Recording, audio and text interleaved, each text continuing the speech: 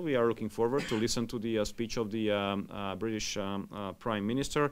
Uh, what I can tell you as a um, representative of a EU member state that we are interested in a fair Brexit.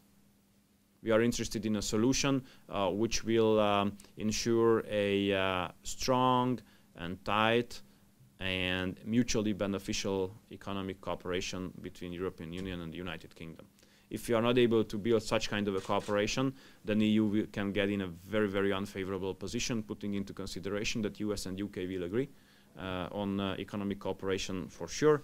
Um, I have seen the announcements uh, after the last visit of Boris Johnson to Turkey that they, uh, their intention is to sign a jumbo-type free trade agreement with Turkey. So UK uh, will be able uh, to, to sign cooperation agreements, economic and trade cooperation agreements with many serious actors of, of world economy. And if EU is not able to build such kind of a cooperation with UK, then uh, it's going to be a very unfavorable position for us.